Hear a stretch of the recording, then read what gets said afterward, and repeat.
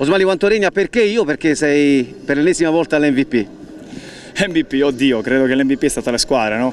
Credo che abbiamo fatto vedere una bella pallavolo, abbiamo dato tanta continuità. Sapevamo che le squadre latine erano un pochino in difficoltà, ma noi volevamo guardare il nostro campo, quindi dare continuità al nostro gioco e fare la nostra parte.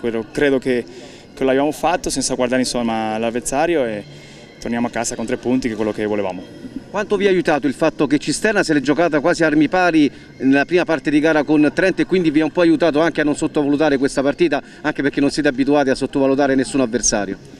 Sicuramente, le partite che praticamente abbiamo sottovalutato siamo andati sempre 3 a 2, quindi questo è il campionato più bello del mondo, anche se Latina è ultima in classifica, eh, ha grandi giocatori che possono giocare molto bene, quindi portare a set alla pari come è stato questo ultimo set eh, io non vorrei, perché non è il mio compito, no, parlare di, di, loro, ma secondo me è una questione psicologica. Eh, sai, quando tu perdi tante partite e perdi un po' la fiducia è difficile rientrare, quindi la fiducia la dà le vittorie, perché nell'allenamento puoi fare quello che vuoi, ma alla fine quello che conta sono le partite. Però è una mia opinione molto personale.